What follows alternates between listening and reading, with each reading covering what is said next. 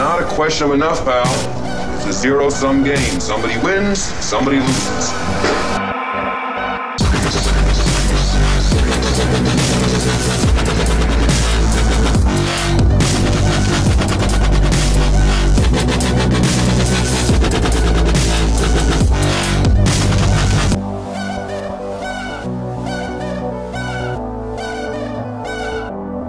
Much is enough?